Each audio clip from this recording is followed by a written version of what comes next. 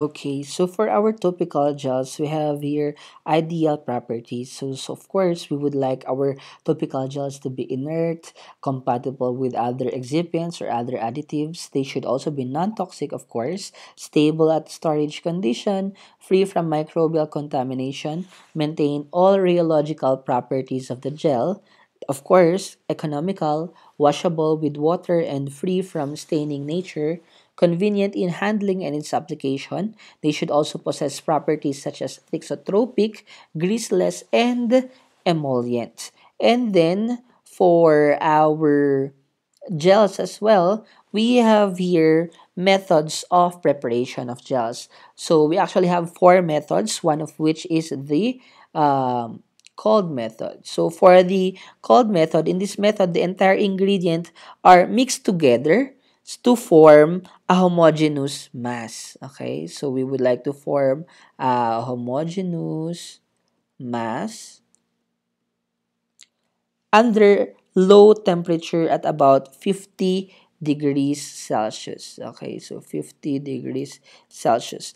In this polymer and penetration enhancer are mixed together to form solution A.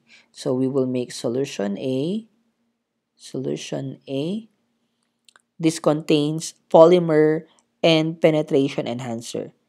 Then we also have here solution B solution B. For solution B, it contains the drug and then the solu the solvent.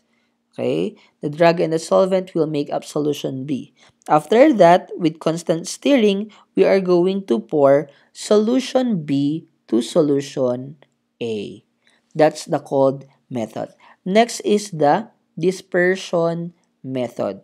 So for dispersion method, this is actually also known as your hydration method. Hydration method.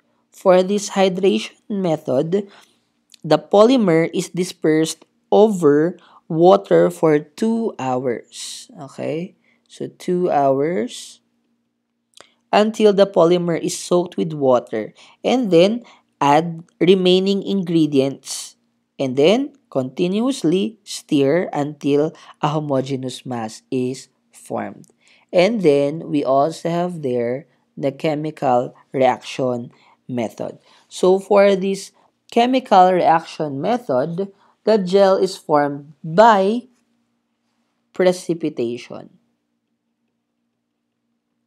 The gel is formed by precipitation and then there will be an interaction between of course the ingredients added so as to come up with the precipitate and this will now be the um, the gel.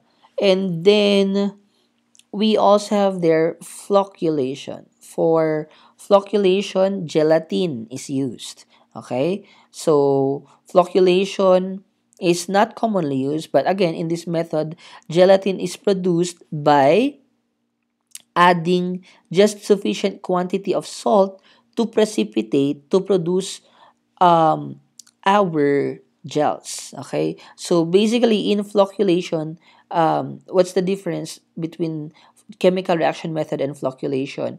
In chemical reaction, there is complete precipitation.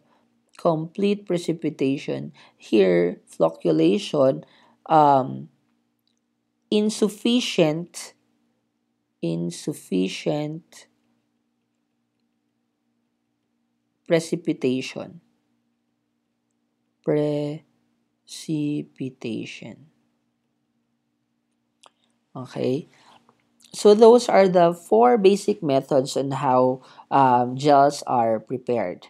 And then we also have there some terms related to gels. So we have here the term um, imbibition.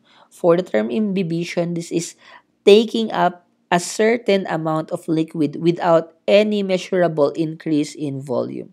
So you basically take up an amount of liquid, but still you have the same increase or the same amount of volume. Okay? Or volume.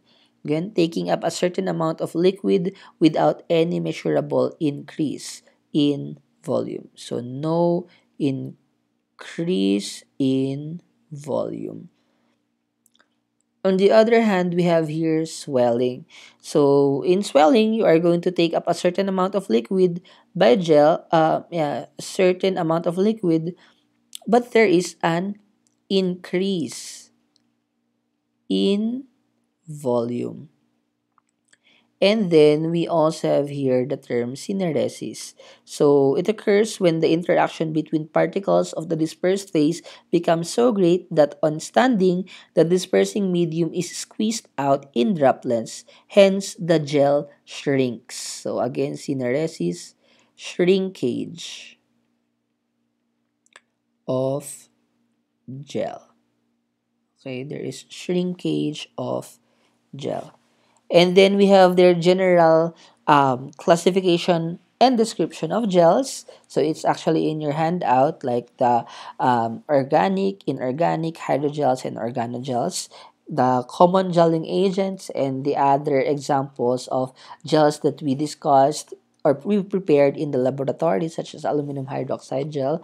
It will be um, your assignment to read what is written in your handout Okay, so again, that's it, and thank you so much for listening.